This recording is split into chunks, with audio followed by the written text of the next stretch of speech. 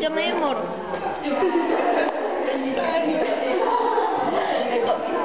Ah, yo me demoro poquito.